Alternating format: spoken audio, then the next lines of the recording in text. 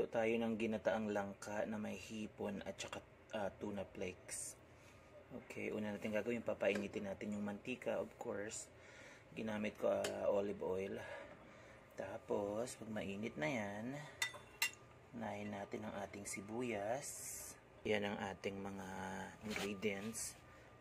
Ah, sibuyas, luya, bawang. Lalagyan ko siya ng um, garlic chili oil na para dahil wala akong nahanap na ceiling green or yung spadang sili and ito ang meron ako so that uh, you know that will do. And then black pepper corn na dinurog ko. And then ito pa yung mga iba. Yan lagyan ko rin siya ng basil leaves para may konting twist. And then ang ating langka ang ating coconut uh, milk or coconut cream. Ating hipon at ang ating tuna. Flakes. Yan na. Mainit na siya. Lagay na natin ang sibuyas.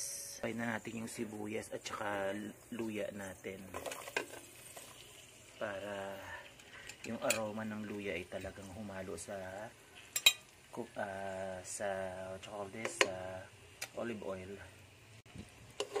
Ang bango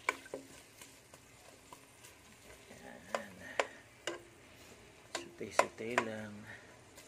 Hanggang maging caramelize yung onion.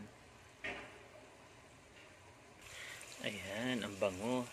Nagka-caramelize na yung, ba yung onions natin. Lagay na natin yung bawang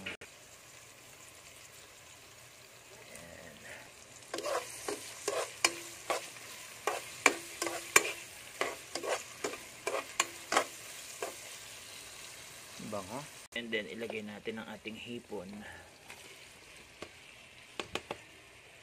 Yan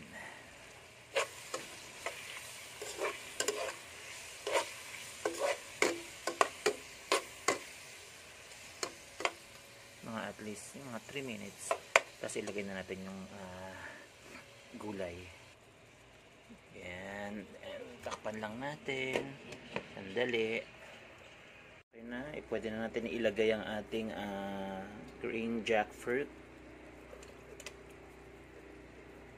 Tagal ko rin hindi naka nakatikim o nakakain ng ah, ginataang langka.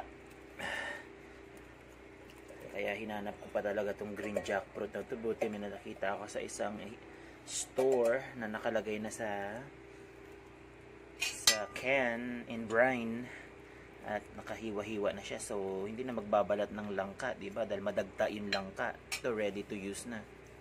Alright, nailagay na natin ang langka. And then, ah, konting gisa-gisa lang, ilalagay na natin ang ating, ah, what you call this, ah, coconut cream or and milk. Yan,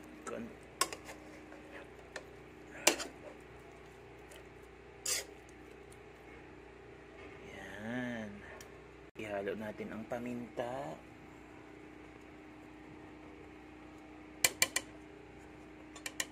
Yep, there you go. Haluan ko pa ng konting um, this one. Ginger na na powder.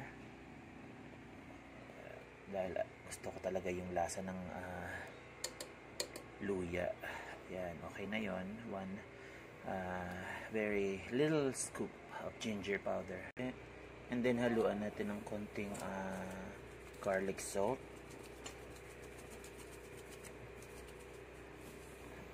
Mamaya natin tignan ah, pag malapit na maluto yung lasa kung kailangan pandagdagan ng konting alat pwede naman natin lagyan ng patis. Lagyan natin ng parsley. I mean no not parsley basil leaves. Parang may twist ng uh, you know Thai Thailand basil. Ang bango niya eh. Pang add siya ng pang add siya ng aroma at saka ng flavor.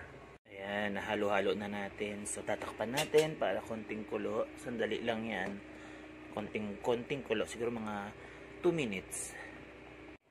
Yes ang bango. Ayan kumukulo-kulo na siya. Kung naamoy nyo lang yung aroma guys. Ang bango as in. Amoy na amoy yung luya, bawang, paminta at kung ano pang nilagay nating herbs and spices and then ilalagay na natin ang ating chunk light tuna in water Dapat kasi ang kapartner nito baboy, eh kaso wala, quarantine tayo. So kung anong meron tayo dyan sa available sa ating ah, bahay or pantry, yun ang gamitin natin. Alright, lagay na natin. Ayan, nalagay na natin ang ating tuna flakes sa ating ah, dish. Halo-haloin lang. Ah, Hirap ng walang katulong mag-video. talagang gawa lahat eh. Anyway, talagang ganyan tiis. Ihahalo naman natin ang ating coconut milk or cream whatever. There you go. Dalawa nilagay ko. Para talagang malasa at magata. Ang final touch niyan yung ano, garlic chili oil. Since wala nga akong na biling siling berde na espada, mas masarap sana yon At saka, syempre, magandang tignan. Pero yun, as I said, quarantine, ah, limited ang ating mga, you know, mga ingredients na hindi tayo makalabas eh. So, whatever we have in our house or in our kitchen, in our pantry, that's what we, you know, just make the most out of it. Ito yung sinasabi kong ah, chili garlic oil, which is napakaanghang. Kaya konti lang nito.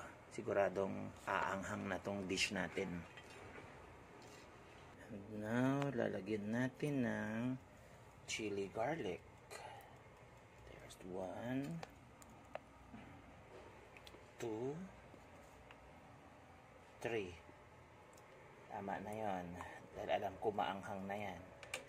Napakaanghang nito as in. Itong chili garlic na to.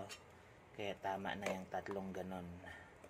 Tsaka mag-a-add din siya ng, you know, kulay. Yan. Papakuluin na lang natin. Kompletos ricados na. Can't wait na maluto to. Completely at nang makakain na. At yung aking ah, takpan natin, syempre. At naluluto na rin yung brown rice ko.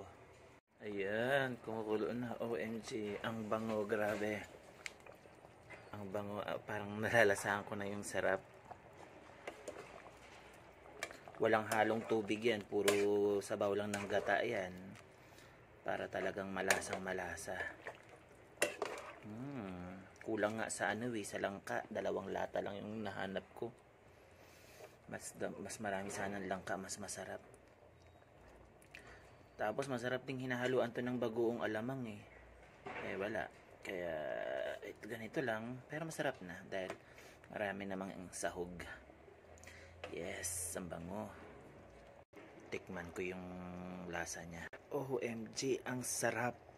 Walang biro.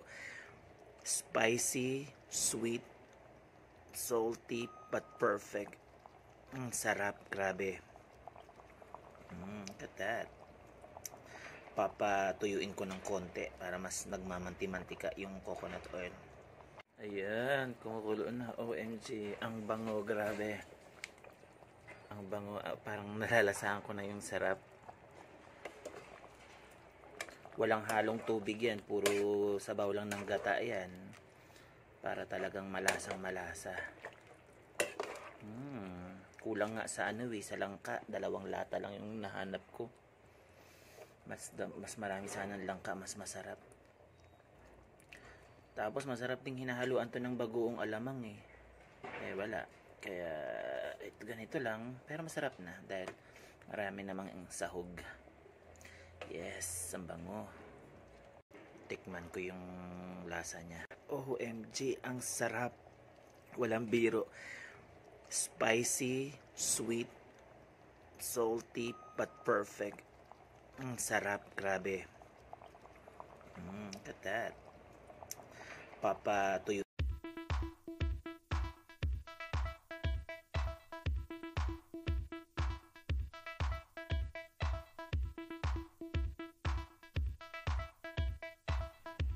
Ayan, luto na, kakain na ako. Ah, kain po tayo.